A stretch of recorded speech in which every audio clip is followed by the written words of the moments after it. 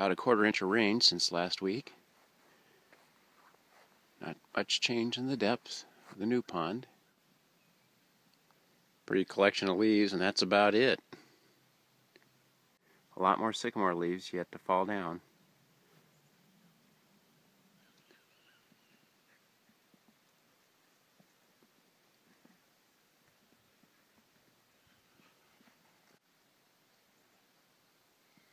New grass on berm, still nice and green. It's getting mowed down by the deer though, which is good. No need to mow it this time of year.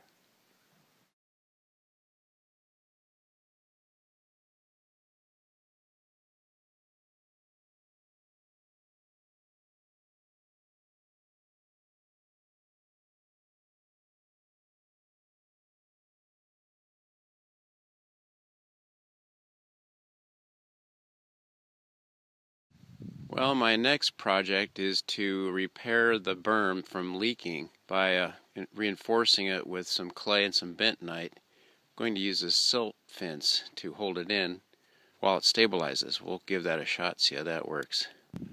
I just uh, gently stuck in the stakes of the silt fence to get an idea if it's tall enough, and I think it is.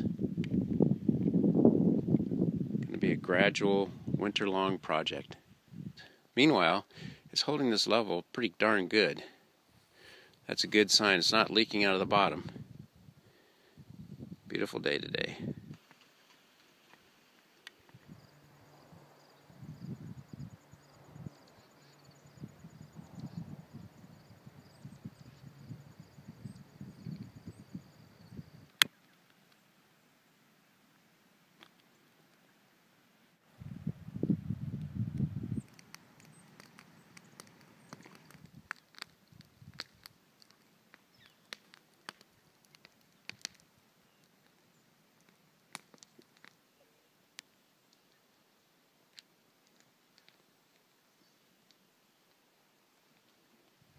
Deer coming down to graze in the meadow.